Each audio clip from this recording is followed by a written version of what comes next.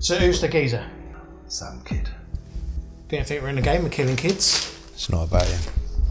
It's Charlie. Danny's just collateral damage. He will kill you, okay?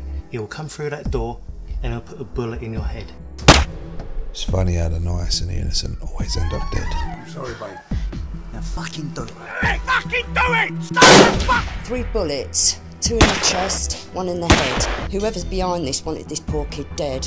They wanted us to find him. Why? Police believe the body of a teenager found on the embankment last weekend was that of Danny Thompson, the son of former murdered gangland boss George Thompson. I love you, bruv. Where are you going, Charlie? Doing what I should have done years ago, taking care of business. Please, just promise me something. Just don't do anything silly. You're better off without me, Joe. Remember Chilton? I'm on off and let my brother get killed. Because of me, he's dead. Because of me, our daughter's dead. You kill her, you'll have nothing to bargain with! And because of me, little Danny's dead. Wait till we find out what happened, who done it. We don't know the whole story yet. I know who done it. Someone wants to talk to you. Your uncle's back. And what? He's stubborn like his old man. These two are highly volatile, highly dangerous men. No heroics. So what are we're waiting for, let's bring them in. I want to catch the whole lot in one big bag.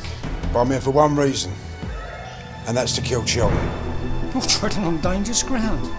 Vengeance is mine, said the Lord. We had our fucking chance. We was right there. We should have just done them. If we'd got in that car, we'd been fucking dead. Like they had guns, we was packing baseball bats. Just got a tip off on the whereabouts of one of Cheltenham's businesses. Police have been sniffing about the gaff. Keep your eyes peeled. I'll do it myself. You two fucking jockey shits just fucking sit here and save your energy.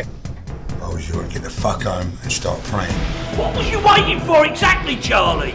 You had a chance fucking clear as day! I've got some good news. Charlie's back. Fucking lovely. You took your fucking time. I will be taking Frankie, I'll get him, bruv. and then I'm coming for you. You're not so clever now, are you, Charlie? This started with me. It has to end me.